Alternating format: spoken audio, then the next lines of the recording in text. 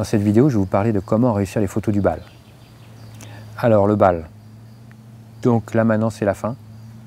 C'est là où on va clore un peu notre rude journée marathon pour faire les photos de mariage.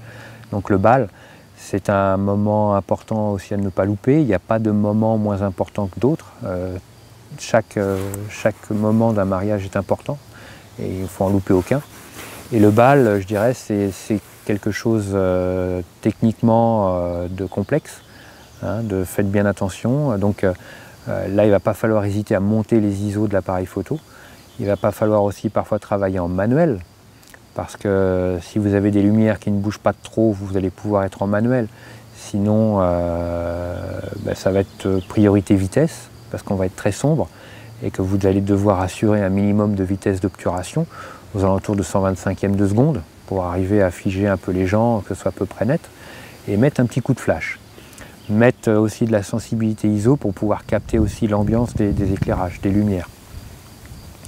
Euh, n'hésitez pas aussi à, si vous avez, euh, par exemple, ça peut se faire aussi, maintenant on vend des torches euh, qui vous permettent d'éclairer les gens indépendamment du flash ou de la lumière pour faire des lumières un peu sympas.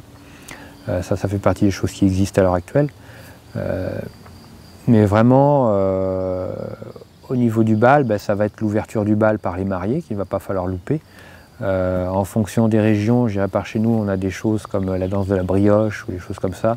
En fonction des religions, en fonction de, beaucoup de choses, vous allez avoir des moments importants à ne pas louper. Donc renseignez-vous avant.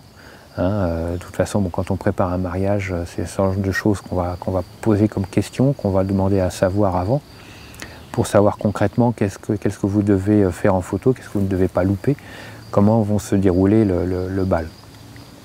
Puis en général, jusqu'à minuit, une heure du matin, euh, on va faire les photos, puis après on, va s'en aller. Euh, au niveau du bal, c'est pareil, vous pouvez soit en profiter aussi pour lier connaissance avec les autres prestataires, comme le DJ par exemple, profiter pour le prendre en photo, échanger des cartes toujours intéressant aussi. Bon, ça ne vous ramènera pas les contrats du siècle, mais on ne sait jamais. Il faut toujours arriver à avoir de bons rapports avec euh, les autres euh, intervenants du mariage dans votre région. Parce que si jamais un jour, bah, ils ont quelqu'un qui a un besoin, on ne sait jamais, hein, pas, comptez pas trop là-dessus, mais bon, on ne sait jamais.